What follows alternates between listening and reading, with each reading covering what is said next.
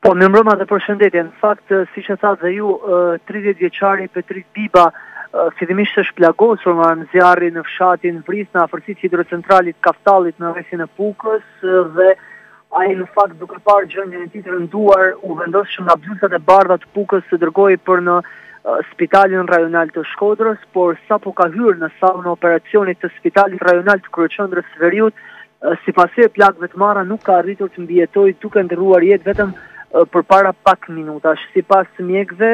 goditja e marrë ka qenë fatale për 30 vjeçarin, i cili mbylli sytë në momentin që po tentohej të kryhej edhe ndërhyrja kirurgikale, duke shpresuar gjithmonë që të mund të arrihej të mbahej në jetë. Në fakt, nga rrethi i Pukës bëhet me dije nga forcat e komisariatit që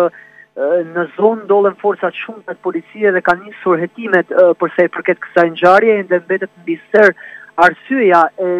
plagosjes fillimisht të 30 vjeçarit që më pas solli edhe vdekjen e tij, por dhe të autorit. Deri në momentin që flasim ende policia e Pukës nuk ka një autor të dyshuar, ndërsa është bërë rrethimi i të gjithë zonës së hidrocentralit, por edhe i hyrje daljeve për në qytetin e Pukës me qëllim që të bëhet e mundur identifikimi dhe më pas vënia para përgjegjësisë e autorit. Duhet thënë që për shkak të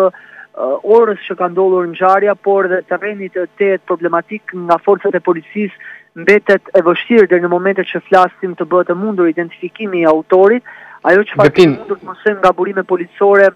Po, të faleminderit për informacionin.